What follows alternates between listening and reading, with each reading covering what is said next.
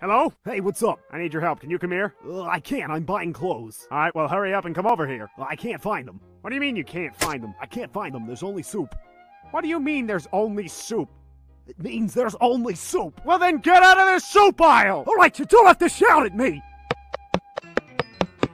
There's more soup. What do you mean there's more soup? There's just more soup. Go into the next aisle! There's still soup. Where are you right now? I'm at soup. What do you mean you're at soup? I mean, I'm at soup. What store are you in? I'm at the soup store. Why are you buying clothes at the soup store? You!